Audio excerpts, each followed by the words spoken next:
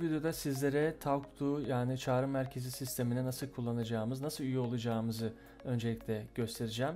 Ee, sizi sisteme üye ettiğimizde şu şekilde bir uygulamayla karşılaşacaksınız.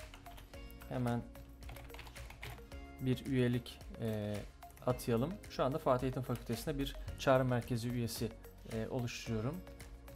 Davetiyeyi gönderiyorum. Bu davetiye kişinin e-postasına düşecektir. Eğer e-postayı açarsanız You have been invited to join Talk to yazıyor ve sizi davet eden kişinin ismi de burada gözüküyor. Eğer sisteme kayıtlı değilseniz size Create Account linki ile gelecektir. Eğer önceden kayıt olduysanız e, dashboard'unuzdan uygulamayı e, çağrıyı kabul edin e, mesajı alacaksınız. Ben şu anda kayıtlı değilim. O yüzden Create Account diyorum.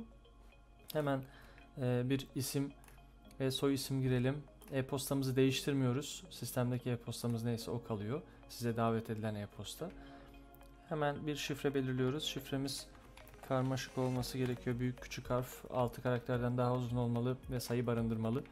Evet sign up diyorum. Successfully created başarılı bir şekilde oluşturuldu profil. Sisteme kayıt olduk. Sisteme kayıt olduktan sonra yapmamız gereken şey sadece mesajlar, gelen mesajları kontrol etmek. Ayrıca e, ekranınızın sol üst köşesinde karakter simgesi olan butona tıklarsanız şu anda e, görünmez olup dışarıda olup ya da online olabilme şansınız var. Yani siz çağrı merkezi olarak e, dışarıdayım, şu anda açığım ya da görünmez durumdayım seçeneklerini seçebilirsiniz. Bir diğeri de sizin şu anda atanmış olduğunuz e, sohbet çağrı merkezleri gözüküyor. Bu kendinizin ismi. Bu sizin kendi çağrı merkeziniz. Eğer bununla alakalı web sayfanız varsa oraya koyabilirsiniz kendi kodunuzu. E, aşağıdaki de size az önce atanmış olan davetiyeden gelen çağrı merkezi sisteminin çağrısı. Bakın bunları açıp kapatabiliyorsunuz. Mesaj alıp almayayım ben yokum ya da varım gibi. Eğer kapatırsanız karşıdakiler sizi çevrim dışı olarak görecektir. Oraya çevrim dışı yazacaktır. E, ama gelen mesajlarda size e-posta olarak e-posta e, adresinize düşecektir zaten. E, o yüzden e, hiçbir şey kaçırmayacaksınız yani. Bu işlemi yaptık. Peki ikinci bir çağrı merkezi hesabımız olursa ne olacak? Dönelim. Bu sefer ben sizi başka bir lisansüstü eğitim enstitüsüne ekleyeyim. Aynı e-posta adresini. Buraya da bakacağınızı düşünelim. Hemen ekliyorum. Agent.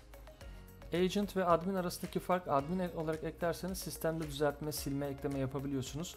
Agent eklerseniz sadece sohbet sisteminde çağrı merkezi e, yöneticisi olarak çalışıyorsunuz. Evet bu davetiyeyi de ikinci bir davetiye olarak gönderdim. Hemen e-postama geliyorum. Şunu silelim. Yeni e-posta geldi. Ee, merhaba Murat Atasoy 2.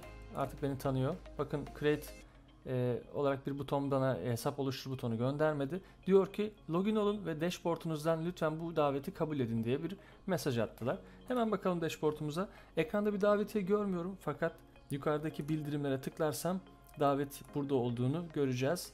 You have been invited. TRÜ Lisansüstü Eğitim Enstitüsü Bay Murat Atasoy. Kabul ediyorum ve böylelikle şu anda artık e, hem Fatih Eğitim Fakültesi'nden hem de Lisansüstü Eğitim Enstitüsü'nde görevliyim.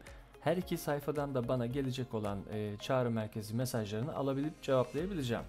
Yeri geldiği zaman bazılarını kapatabilirim ya da açabilirim ya da aynı şekilde şu anda dışarıdayım ya da görünmezim durumunu sergileyebilirsiniz. Ses ayarları da burada. Ayrıca sistemin e, dilini de Türkçe çevirmek isterseniz o da profil ekranınızda, profil butonunuzun altında hemen Türkçe yaparsak bakın ekranınız zaten şu şekilde gözükecek. Biraz daha kullanışlı olabilir diye düşünüyorum. Sohbetleri kabul et şeklinde. Evet teşekkür ederim. Kolay gelsin.